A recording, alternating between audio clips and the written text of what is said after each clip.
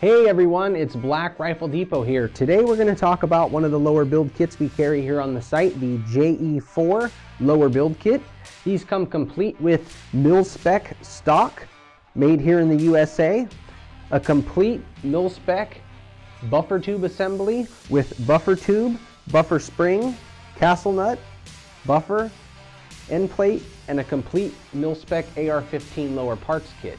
These are available on our website. Please make sure to subscribe for future videos and press that button for the like.